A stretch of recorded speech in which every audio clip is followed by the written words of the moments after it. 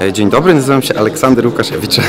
E, Aleksandrze, powiedz, e, czego to w skrócie dotyczyło przedstawienie, które dzisiaj zaprezentowaliście w Giżyckim Centrum Kultury, a którym, dzięki któremu w Otwocku wygraliście Mistrzostwo Kreatywności w Polsce?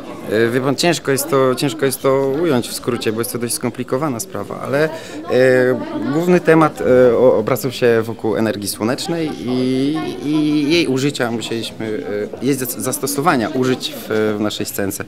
E, istniejące już, istniejących już urządzeń, e, ale głównym e, Głównym elementem e, naszego wyzwania właśnie było stworzyć prototyp urządzenia, które w jakiś sposób przetwarza tą energię.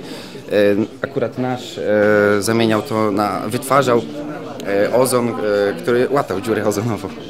Skąd braliście pomysły na takie poszczególne elementy w tej scence? E, Z głowy. Na tym chyba polega kreatywność. E, Zostałeś wybranym też najlepszym aktorem podczas e, tego mm, turnieju w Otwocku. Jak byś ocenił swój występ i jak oceniasz to, że dostałeś taką nagrodę?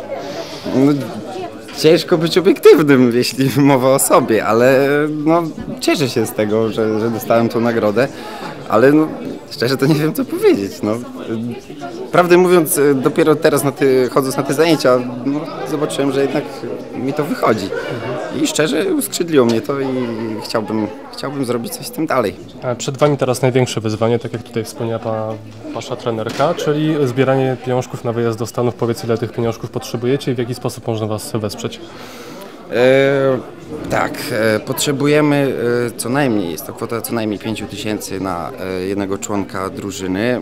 E, jest nas siedmiu plus, plus jeszcze opiekunowie, dwóch opiekunów, czyli potrzebujemy no, co najmniej 45 tysięcy. E, jak można nam pomóc? E, Rozdawaliśmy teraz przy wyjściu numery konta e, na fundacji, bo e, powstała fundacja e, wspierająca właśnie e, naszą grupę, chociaż nie tylko naszą, bo w Giżycku istnieje jeszcze kilka różnych i nie tylko my zwyciężyliśmy też w, tych mistrzostwach i dostaliśmy wyjazd do Stanów, e, ale głównie liczymy na, e, na jakieś większe firmy, które no, chcą inwestować w młodzież, w edukację i, i nas wesprzeć.